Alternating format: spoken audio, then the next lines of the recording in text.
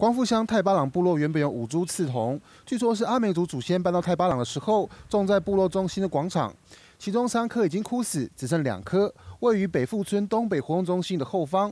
刺桐可以说是许多部落居民儿时共同的回忆。早期就已经这么大棵了，那我们喜欢攀爬在上面，为什么？因为它可以居高临下看着整个会场的呃呃丰年祭，所以。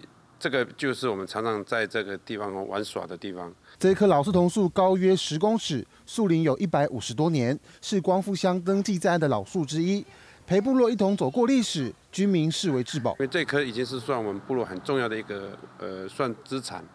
那每次来这边开会或小朋友来，我们也都拿来做一个很好的生态的教育的一个地方。赤桐树下就是泰巴朗部落的聚会所。以前部落没有广播系统的时候，都要爬上树顶来招呼大家集合。树坪上长了许多瘤状凸起，树干上布满了附生植物。